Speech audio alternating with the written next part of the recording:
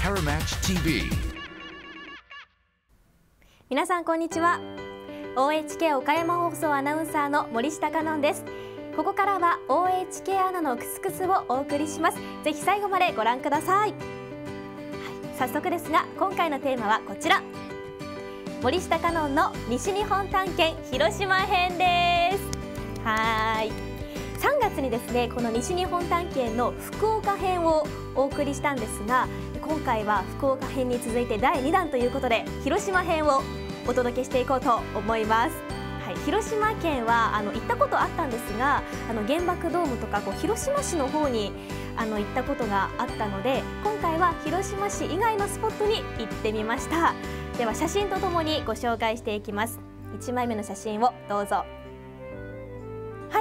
初めはですね朝10時半くらいにお家を出て、え JR 岡山駅からえ福山駅まで広島県の福山駅まで電車で行きました。乗っている時間は1時間ほどでしたかね。でも友達とたくさんおしゃべりをしていたのであっという間に1時間が経ってしまいました。で福山駅に着いてからはレンタカーを借りて車で目的地に向かいました。はい着いた先がこちらです。はい少し見えにくいですが世羅高原農場に着きました。あずっと行きたかった世羅高原なんですがなんとですね私たちちょっと行き先を間違えてしまいまして本当はここじゃなかったんですよ。ここはあのチューリップ祭りが開催されていてあのチューリップ畑がねこう楽しめる場所だったんですが私たちが本当に行きたかった場所はこちらでした。はい車でまた30分ほど運転してこちらの方にやってきました。えこちらではあの世羅高原なんですけれども芝桜とネモフィラを楽しめる場所になっています。いやずっとここがね行きたかったんですよね。あの下の写真あの看板の写真なんですけれども島桜エリアそしてネモフィラエリアということであの案内がありました。その通りですね。はい次の写真お願いします。はい。公園が右半分が芝桜エリアそして左半分がネモフィラエリアになっていましてでここ少しこう高高台からこう見渡している位置から写真を撮ってるんですけれども本当にあの公園のね半分がピンク半分が青という感じであの花がね咲いていました。上から見る景色もとっても綺麗でした。はい。では次の写真どうぞ。初めはネモフィラの方に行ってきました。ネモフィラねあの花がねこれくらいの大きさで小さめなんですがこうポンポンポンと咲いていてとっても綺麗でした。あの青い花ってこうまた珍しいですよね。あの群青色というんですかこう柔らかい青が特徴的でとっても綺麗でした。はい。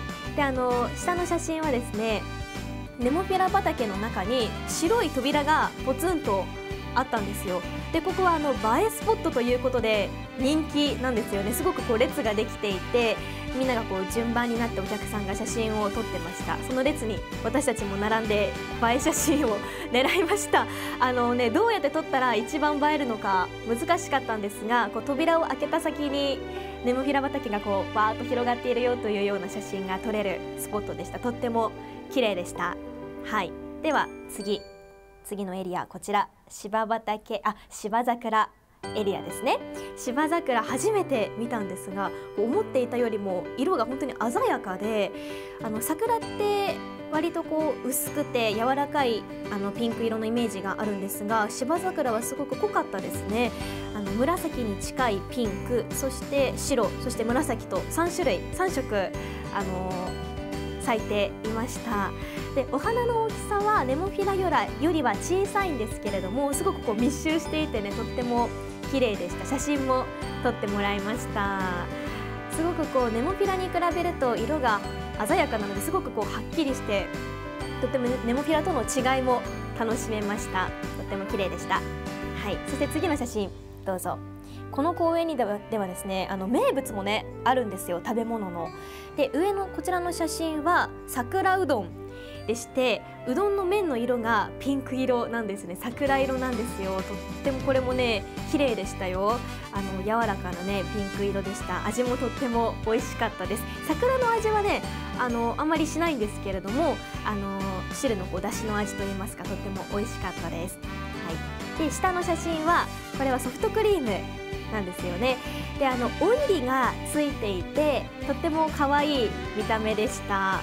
あの実はネモフィラソフトというあのソーダ味の水色のソフトクリームもあったんですけれどもこのオイリの可愛い見た目に惹かれてしまってこれを選びました。芝桜をバックにね写真を撮ってこれもね映えインスタ映えできそうですね。